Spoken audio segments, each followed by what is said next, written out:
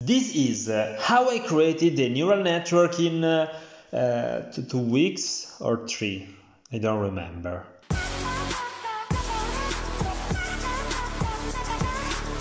What is a node? A node is a cell that contains a number. In my program, this number ranges from 0 to 1, and I color the node based on this number. A single node is not useful, so let's call one of its friends. These two nodes can be linked with a connection line. A connection line performs a mathematical operation to transform the input nodes into the output ones. These mathematical operations are called activation functions.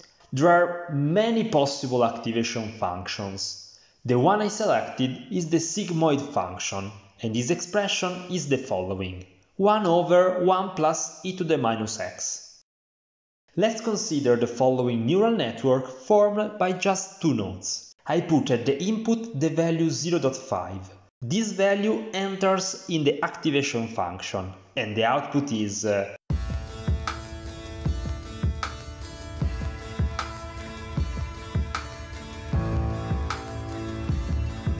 nearly 0.6. Congratulations! This is your first really stupid neural network. Congratulations! Congratulations! Congratulations! Congratulations! In the previous explanation, I missed an important step of neural networks weights and bias. Each time a number goes out from a node, it is multiplied by a particular weight associated with that node. Take the following example. Inside these two nodes there is the same number, 0.5, but each node has a different weight. 1 in the first case and 4 for the second one. But now 0.5 times 1 is still 0.5, while 0.5 times 4 is 2. And uh, putting 0.5 and 2 inside the same activation function will obviously produce a different result.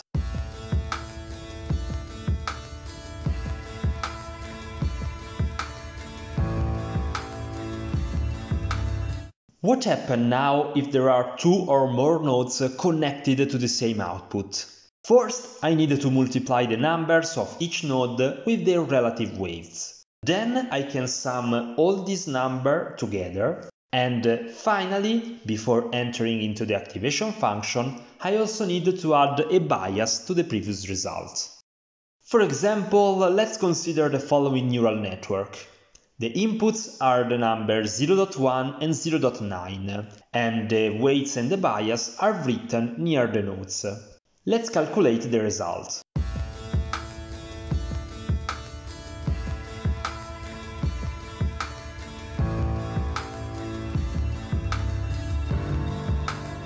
The resulting value will be 0.2. As you have just seen, weights and bias are fundamental to determine the outcome of a neural network.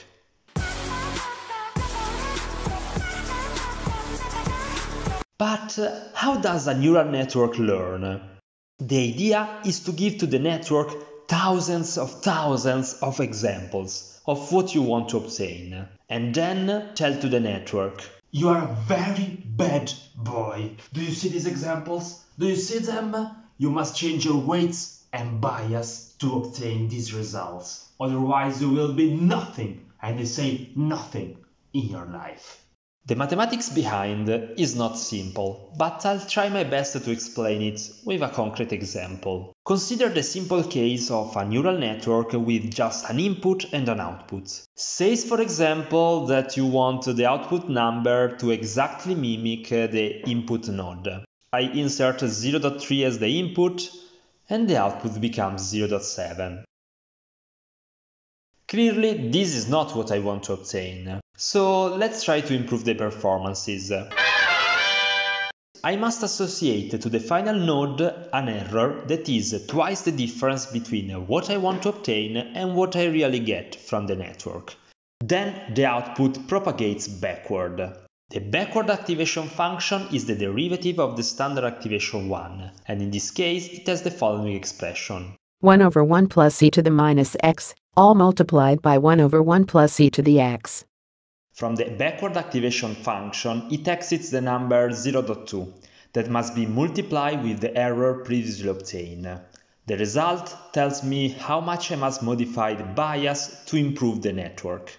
In this case, the bias should be reduced by minus 0.16.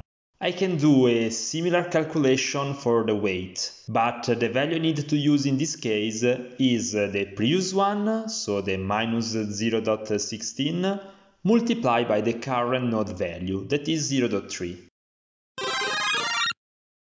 With the new weight and the new bias, the outcome of the network is closer to the wanted 0.3 value.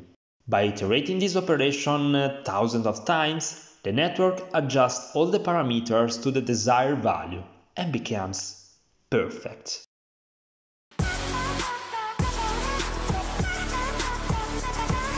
To test what I just said, I will train this neural network to mimic the input with hundreds and hundreds of examples. So I must uh, insert a value, the network calculates the results and shows me the outcome. And finally, it learns uh, how to perform better.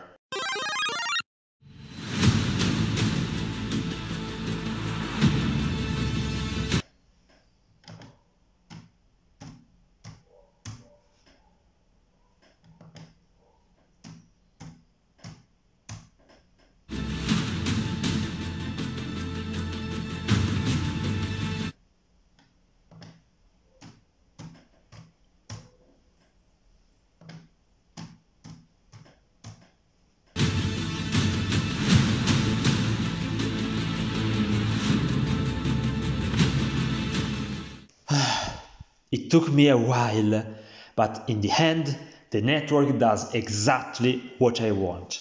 If I insert 0.4, the output is 0.4. If I insert 0.7, the output is 0.7. This is valid also for 0.2, 0.8 and 0.3. Very, very good.